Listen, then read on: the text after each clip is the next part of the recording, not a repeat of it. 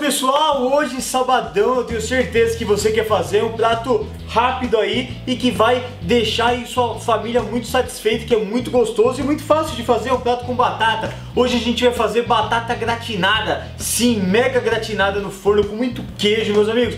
Essa receita é deliciosa, acompanha muito bem aí qualquer coisa que você fizer, de repente só batata gratinada e uma carne, um frango, alguma coisa, já fica perfeito, você não precisa fazer mais nada, tá bom? Então, ó, todos os ingredientes na descrição do vídeo aqui no YouTube e vamos lá. Para começar eu descasquei aqui as nossas batatas e agora, o que, que, a gente vai fazer? O primeiro passo é cortar elas bem finas. Não é para você cozinhar antes, tá bom? Elas vão crua.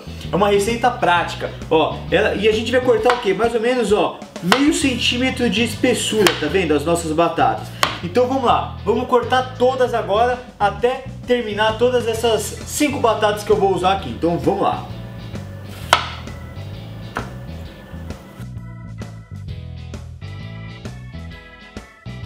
Agora que a gente já cortou as nossas batatas em lâminas, olha aqui que maravilha, toda laminadinha, tá vendo, ó? Tudo cru ainda, tá? Lembrando, não cozinhei nada, porque como ela tá fininha, ela vai cozinhar no forno junto com toda a nossa, a nossa receita, tá? Então, ó, aqui eu tenho creme de leite fresco, e é muito importante você usar o fresco, que é aquele que você acha na geladeira lá do mercado, que é para não talhar, tá bom? O seu, a sua batata gratinada. E aqui requeijão e parmesão que a gente vai usar por cima depois para dar um gratinado e um sabor mega especial. Ah, tô esquecendo de uma coisa muito importante que é o sal.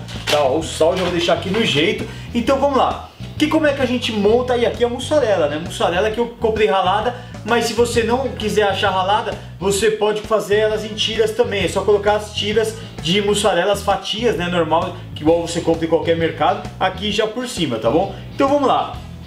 Vamos começar fazendo uma caminha, ó, de batata por toda a nossa travessa e a gente vai repetir esse passo até terminar as batatas depois, tá? E é como se fosse um pavê, vai, digamos assim, de, de chocolate, né? Só que a gente vai fazer de batata com, em vez do creme, vai ser o nosso creme de leite, em vez daquele creme branco, tá bom? É, são camadas, igual uma lasanha. Ó, a gente fez aqui a primeira camada de batata, aí a gente vai fazer o que? Vamos colocar o nosso creme de leite fresco, ó, só um pouquinho assim mesmo, ó, só meio que regando ó, elas, tá bom? Olha que maravilha. Isso aqui dá um sabor, meus amigos, que vocês não fazem ideia, ó. ó colocou aqui ó, as colheradinhas de creme de leite, ó. Aí a gente pode vir aqui com o sal e dar uma... E em cada camada a gente, ó, fazer aqui uma... Colocar uma, uma pitadinha de sal, ó, para as nossas cebola, para nossas batatas ficarem bem salgadas. E agora, ó, queijo mussarela na camada. Olha que maravilha. Isso aqui tem como ficar ruim? Não tem a menor chance, né, meus amigos? Ó, agora, pronto. Olha que maravilha. E agora a gente vai repetir essa mesma camada que eu fiz até chegar no topo, tá bom? Então vamos lá. Eu vou acelerar o vídeo para vocês verem. Então vamos lá. Agora, batata de novo, depois creme, sal e mussarela. Até acabar todas as batatas. Vamos lá.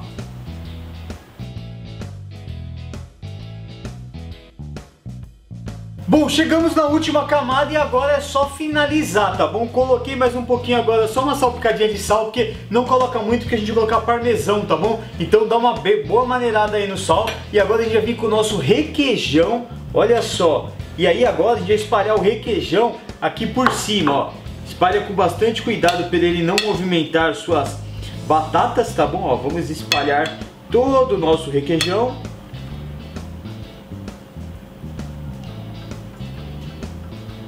Prontinho, e agora a gente finaliza com o nosso parmesão, tá? Bastante parmesão aqui por cima de toda agora a nossa, a nossa, o nosso prato, ó, cobrindo todo esse, esse delicioso requeijão que a gente acabou de colocar. Olha que delícia que vai ficar, meus amigos. Isso aqui só pode ficar maravilhoso. Eu queria que vocês me ajudassem compartilhando esse vídeo no Facebook de vocês. Vocês também concorrem ao livro da Ana Maria Blog compartilhando o post da fanpage. Então ajuda a divulgar porque é muito deliciosa essa, essa receita. Olha que maravilha, ó. Sente esse drama. E agora, com essa beleza aqui, ó, já cheia de parmesão e cheia de queijo, a gente vai levar no forno pré-aquecido a 180 graus por 40 minutos. 40 minutos vai ser o tempo ideal da nossa batata cozinhar, dos queijos derreterem e da no, do nosso queijo aqui de cima gratinar, tá bom? Então eu vou levar lá, 40 minutos eu volto e mostro pra vocês no detalhe de pertinho como é que ficou.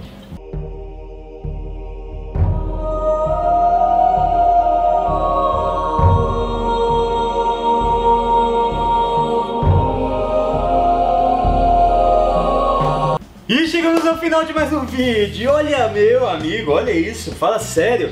Não, dá licença que eu, eu não aguento mais esperar. Eu vou ter que pegar aqui, ó. Ai, tá quente.